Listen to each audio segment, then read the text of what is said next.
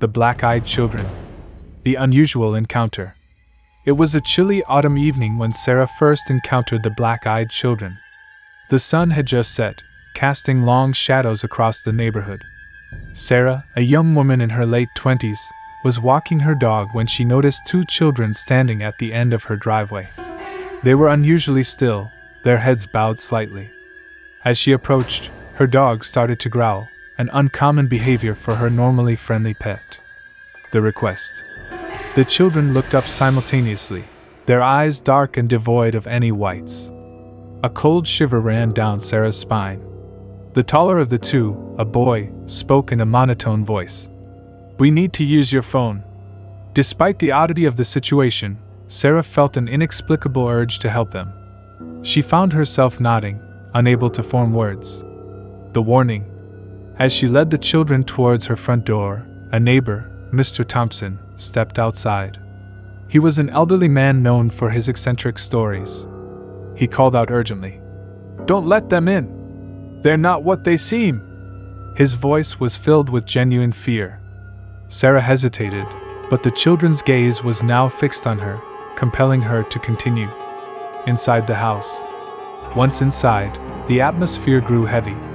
The children stood in the hallway, not moving, not speaking. Sarah handed them her phone, and the girl began to dial. Sarah couldn't shake the feeling that something was terribly wrong. The dog's growl had turned into a low whimper, and it cowered behind the couch. The call. The girl held the phone to her ear, but there was no dial tone. She didn't seem to notice. Instead, she began speaking in a language Sarah couldn't understand. The boy watched her with those unnerving black eyes, his expression blank. Sarah felt a growing sense of dread, but she was rooted to the spot, unable to act. The realization. As the girl continued to speak, Sarah noticed a change in the room's temperature. It had dropped several degrees, the lights flickered, and the shadows seemed to grow longer. Sarah's phone, which the girl was still holding, suddenly emitted a high pitched noise, causing the girl to drop it. The revelation. Mr. Thompson's warning echoed in Sarah's mind. She finally mustered the strength to move, taking a step back. What do you want? she demanded, her voice shaking. The children turned their gaze to her, and the boy spoke again. We need to use your phone. The repetition was unnerving, and Sarah realized they were not human. The escape. Sarah's survival instinct kicked in.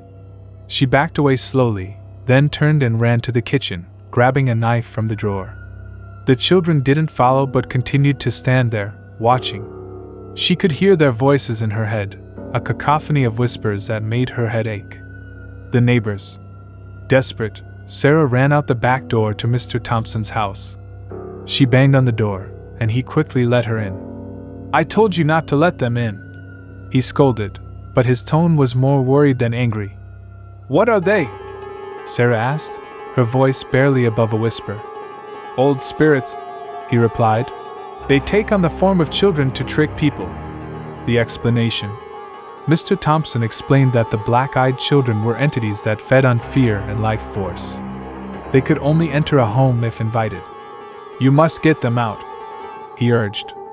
But how? Sarah asked, feeling hopeless.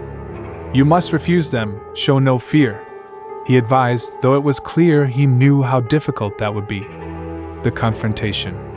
Armed with new resolve, Sarah returned to her house. The children were still there, standing in the hallway. She took a deep breath and said firmly, You need to leave. Now. The children looked at her, and for a moment she felt a wave of fear. But she stood her ground. The departure. The boy and girl exchanged glances, their expressions still blank. Slowly, they turned and walked towards the door. Sarah followed, ensuring they left the house. As they stepped outside, they looked back one last time, their eyes reflecting an unnatural darkness. We'll be back, the boy whispered before they disappeared into the night. The aftermath. With the children gone, the house felt lighter, the oppressive atmosphere lifting. Sarah slumped to the floor, exhausted. The dog came out from its hiding place, wagging its tail cautiously. She knew the danger wasn't completely over, but for now, they were safe. The research. Determined to understand more, Sarah spent the next few days researching the black eyed children. She found numerous accounts similar to hers, stories of encounters that ended in fear and confusion. But there was little information on how to permanently get rid of them. The preparations. Sarah decided to prepare for their return. She consulted with Mr. Thompson and other locals who had knowledge of the supernatural. They provided her with protective charms and taught her rituals to ward off evil spirits. Her house became a fortress, filled with symbols and objects meant to repel the entities. The signs. Weeks passed, and Sarah began to notice subtle signs of the children's presence. Shadows moving in the corners of her vision, whispers in the wind, and the feeling of being watched. She kept her guard up, knowing it was only a matter of time before they returned. The return. One stormy night, there was a knock at the door. Sarah's heart raced, but she steeled herself. She peeked through the window and saw the familiar faces of the black eyed children. This time, she was ready. You can't come in, she said loudly, her voice firm and unwavering. The standoff. The children stood outside, unmoving. The boy's eyes seemed to burn with anger, but Sarah held her ground. She recited the incantations she had learned, feeling a strange power surge through her. The children began to fade, their forms becoming less distinct. The vigilance. Sarah continued to live in her fortified home, always vigilant. The encounters with the black eyed children had changed her, making her more aware of the unseen world around her. She joined forces with others who had faced similar threats, forming a community dedicated to protecting against supernatural entities. The black eyed children might return, but Sarah was no longer afraid. She was ready.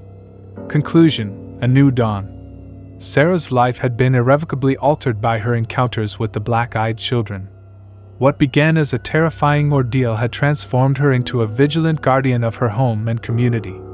The knowledge she gained and the strength she discovered within herself turned fear into resolve. Through her relentless research and the support of her neighbors, Sarah learned the importance of preparedness and unity. Her home, once a mere dwelling, became a bastion of protection, adorned with symbols of power and hope.